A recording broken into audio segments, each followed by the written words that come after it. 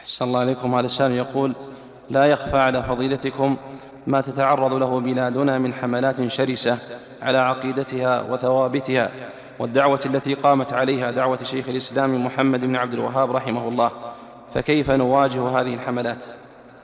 هذا ليس بغريب هذا هذا في عهد النبي صلى الله عليه وسلم ماذا كان المنافقون يقولون وماذا كان الكفار يقولون.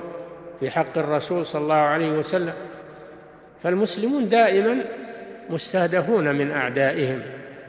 قال الله تعالى لتبلون في أموالكم وأنفسكم ولتسمعن من الذين أوتوا الكتاب من قبلكم ومن الذين أشركوا أذى كثيرا.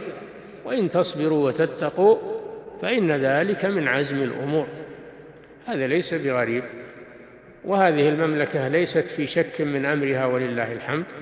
بل هي على قاعدة ثابتة وعلى دين حق ودعوة مباركة ليست في شك من أمرها وليست على خطأ وإنما هي على دعوة الرسول صلى الله عليه وسلم فلا فلا يؤثر عليها نباح الكلاب أو كلام الأعداء كله هذا إنما يرجع على أهله وإنما يضرون أنفسهم ولهذا قال جل وعلا وإن تصبروا وتتقوا لا يضركم كيدهم شيئا. إن الله بما يعملون محيط.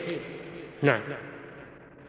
أحسن الله إليكم. هذا السائل يقول هل من يموت بحادث سيارة؟ إحنا ما نتوقع منهم المدح. إحنا ما نتوقع منهم إلا الذنب. ما نتوقع منهم أنهم يمدحوننا. ولا نبيهم يمدحوننا أيضا.